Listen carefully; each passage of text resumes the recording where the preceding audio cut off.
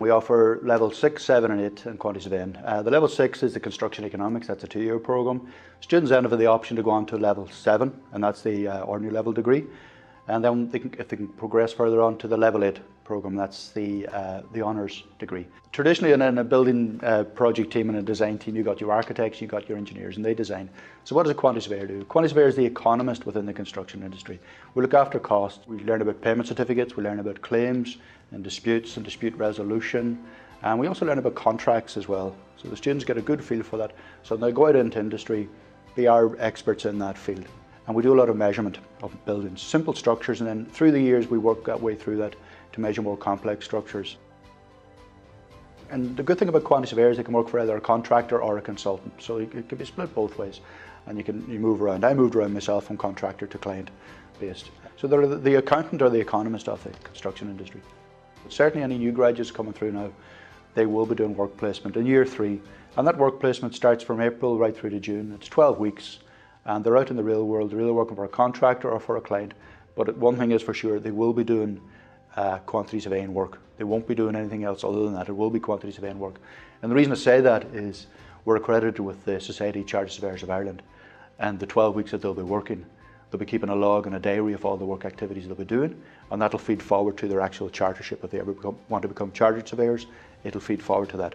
So they will be doing quantity surveying work during the work placement. And they learn a lot in work placement. We're also accredited with the Royal Institution of Chartered Surveyors, the RICS, they're based in London, uh, and they're the worldwide governing body of uh, surveying. We're also accredited with the CIOB, the Chartered Institute of Builders, and it's good to be in with those guys as well. So we have those three accreditations. We also take them to building sites as well and get them a hands-on feel for the practical part of it. So it breaks it up. So you're not just all classroom based, sitting in a classroom or sitting in a, in a lab doing work. Students get out and about as well. It is one of the most sought after professions at the moment in the country, and not just within the construction industry. It is the most one of the most sought after. The, the remuneration packages, the salaries are, are, very, very good at the moment. They're very attractive, uh, and not just the salary, but the bonus that come along with it. If you work for a, for a contractor uh, as a quantity surveyor, chances are you're probably going to be given a car as well.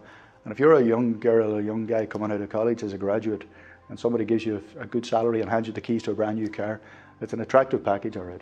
Yeah, and that's, that's not within Ireland, within the UK and the rest of Europe as well. In the Middle East, there's quite a lot of opportunities worldwide at the moment. We also now offer the Level 9 programme, and that's after uh, the graduate from the Level 8 then go on to do Level 9, which is a postgrad certificate. That's fully online at the moment. And it's a mechanical electrical uh, quantity surveying, which is a bit of a niche at the moment, and there's a, a lot of interest in that Level 9.